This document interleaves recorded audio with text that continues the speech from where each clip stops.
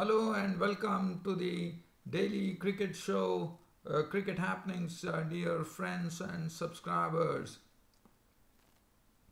As far as today's Cricket Happening show is concerned, uh, well, it's the first one day international between Sri Lanka and Pakistan, uh, which was played in Dubai today, and it ended up with Pakistan definitely showing their superiority uh, as far as ODI cricket is concerned, being the Champions Trophy winners, as uh, they actually um, you know beat Sri Lanka by 83 runs uh, in a in a clash in Dubai.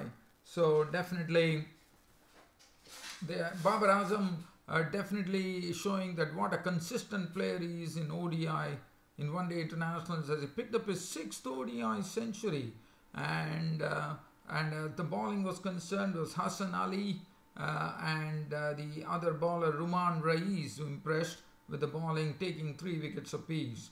I'll be talking about that and then we have some lot of cricket news no doubt about it some snippets of cricket news because ICC meeting uh, has concluded in Auckland uh, and uh, the there are a lot of news which I would like to generally share with you dear friends and subscribers. But definitely I'm going to start off with this summary between Sri Lanka and Pakistan. The first ODI, the toss was won by Upul Tharanga, the Sri Lankan captain, and one thought that the pitch was definitely tailor-made for batting and one was a bit surprised at the uh, decision taken by Upul Tharanga of inserting the opposition Pakistan to bat first. Probably uh, Tharanga thought that they are good chasers. Uh, well, but it all started off with the uh, Pakistani innings starting with Fakhar Zaman, the hero of the Champions Trophy, walking in with Ahmed Shahzad. And uh, the runs were not easy to come by, with Suranga Lakmal sticking to a good line, uh, Gamage also doing a fine job, and uh, both were really uh, keeping a good line, and the, the, it was not easy for both the batsmen to get the ball off the square. It was uh, so it was good bowling, especially uh, Suranga Lakmal. I thought impressed uh, bowling a good line, Gamage to a certain extent, I would say. Uh, but then finally the wicket came. Now Ahmed Shahzad was kept scoreless for 12 balls. He was really struggling to get the ball of the square, and then uh, really a rush of blood because um, he definitely wanted to dominate the bowler. He wanted to get some runs. He came down the wicket to Gamage uh, to have a go at him, and Akila Dhananjaya um, actually held the catch, and Ahmed Shahzad, after being scoreless for 12 balls, was dismissed for a duck. So that made it 11 for 1, and that brought the entry of Babar Azam into the mix as Babar Azam joined Fakhar Zaman.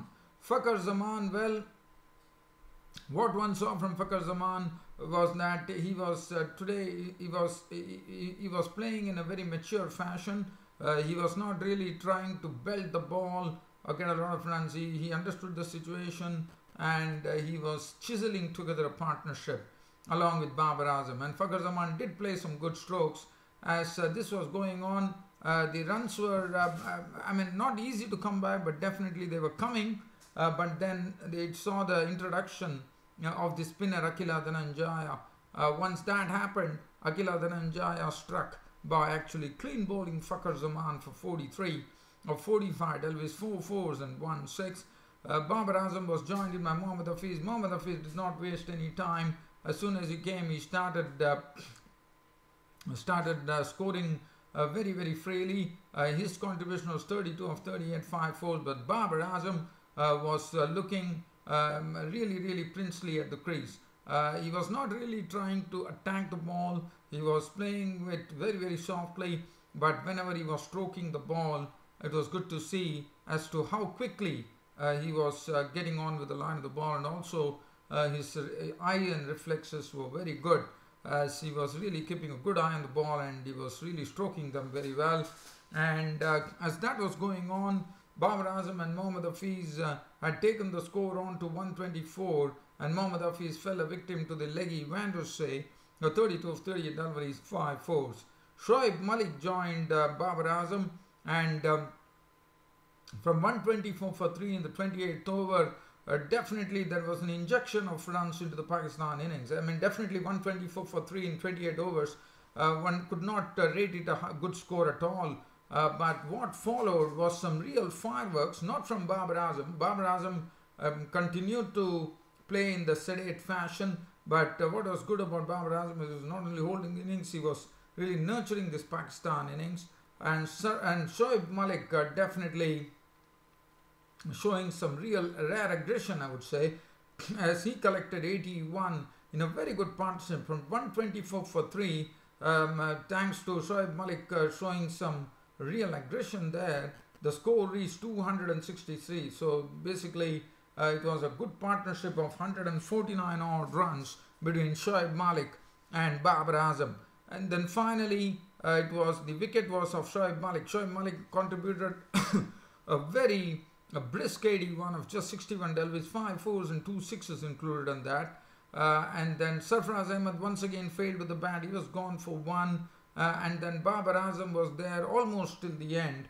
And as I said, what a consistent player he has been in ODIs. He picked up his sixth ODI century, and that is something in his short career to have six ODI centuries. I think it's uh, quite an achievement for Babar Azam. Uh, definitely deserves kudos for that. And his score was 103. He was a victim of the bowling of Lakmal. 103 of 131 balls, five fours.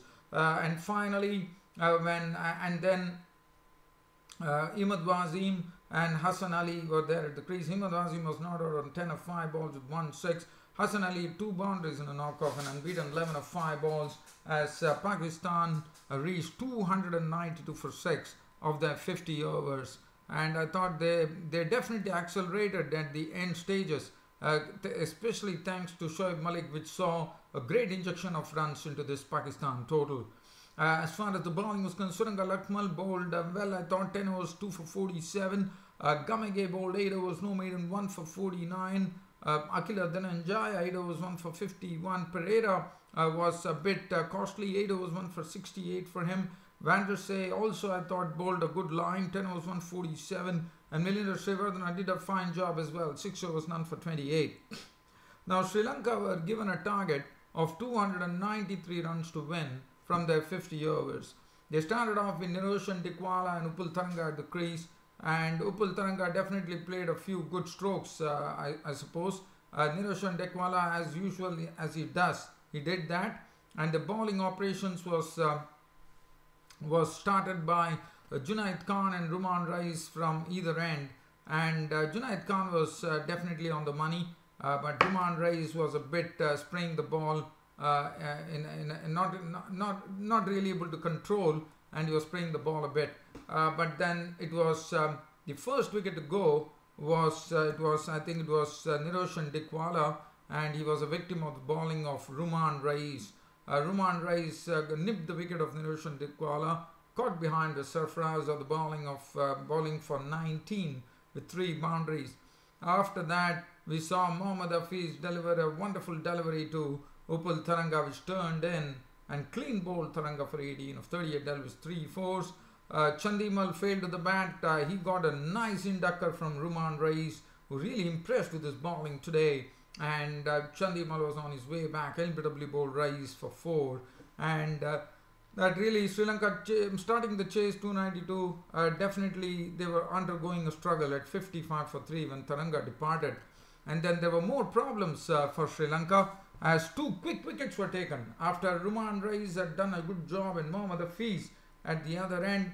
Hassan Ali, the hero of the Champions Trophy, came to bowl and he picked up two important wickets. And I thought that really, really set the Sri Lankan innings absolutely on the back foot.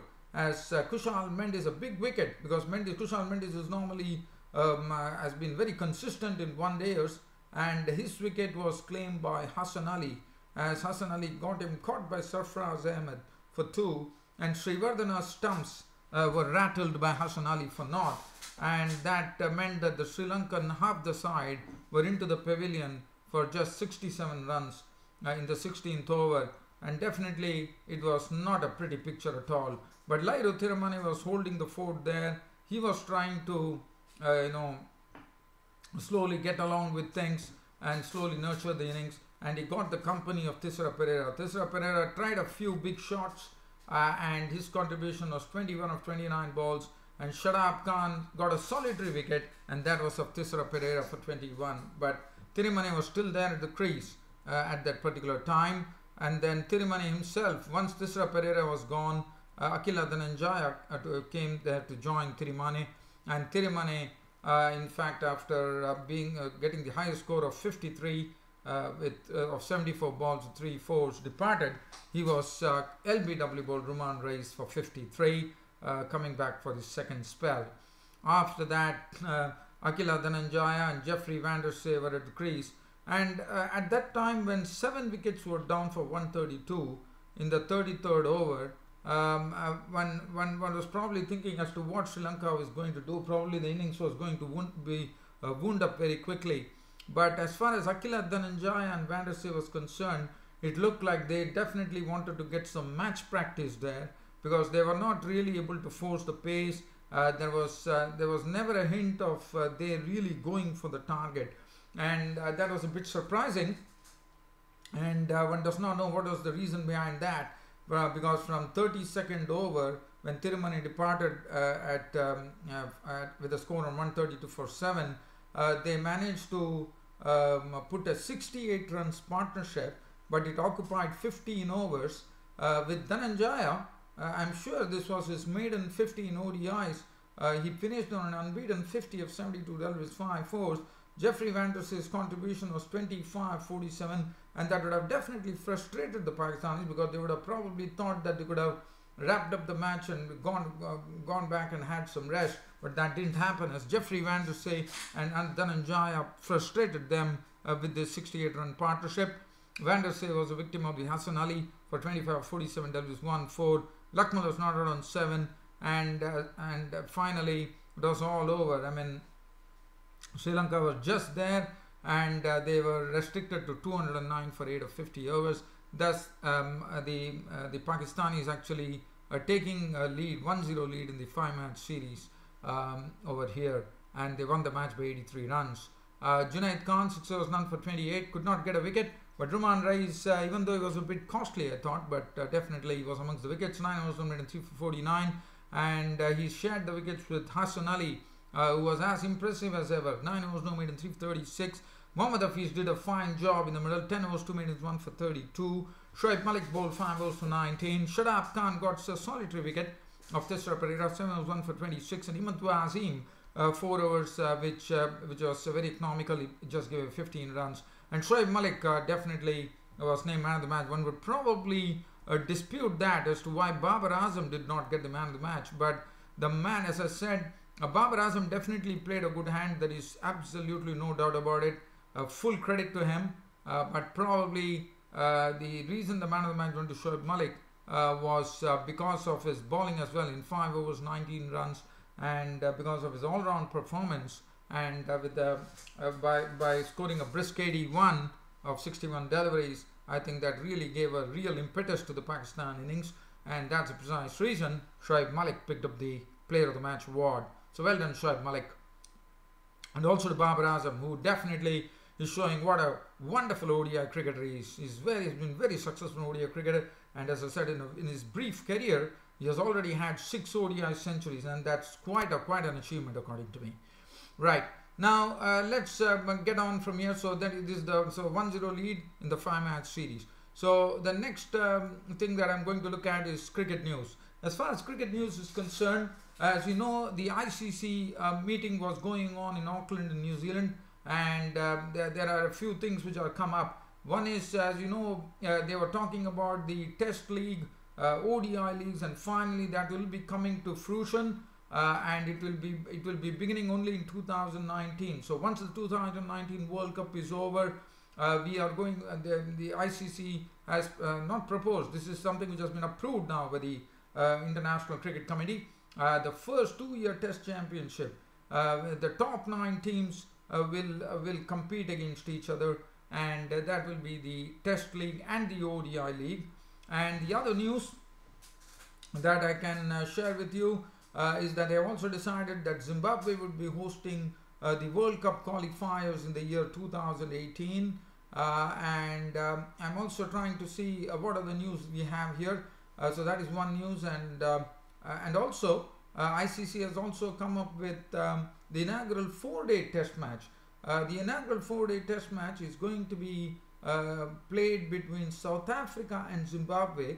So basically, they are just experimenting on a basis to see how this goes. So this is going to start with immediate effect. So uh, South Africa will be playing Zimbabwe in a four-day test match, uh, which is going to be happen for the first time in international cricket. Um, and um, other than that, uh, the Bangladeshi uh, player Shakib Al Hasan, who is now uh, taking a six, have taken a six month, six month break from Bangladesh cricket, has been inducted into the MCC's World Cricket Committee. Well, dear fans, subscribers, not much to really dwell on. Uh, but it was a real pleasure bringing you this uh, daily cricket show. And yes, let me also say that you might be wondering as to why I didn't speak about the final T20 uh, between India and Australia. The reason being, not a single ball was bowled. Uh, Hyderabad, it was always raining, as I was I was telling you yesterday. And finally, it ended up with the match uh, being. Uh, um, no, no, no balls bowled in the match. In fact, not even the toss was put and it was all over uh, with the deciding T20 where, where which one were one one was really really waiting for it but it never happened and it resulted uh, with India and Australia actually sharing the ODI series 1-1 um, sorry uh, not ODI series sharing the T20 series 1-1 uh, um, so well dear fan subscribers uh, that, uh, that, that that really really sums up this daily cricket show of mine today. Hope you all loved it. And uh, with more cricket happenings to come tomorrow on my next cricket broadcast, um, this is your host Ram um, signing off this evening. Thank you.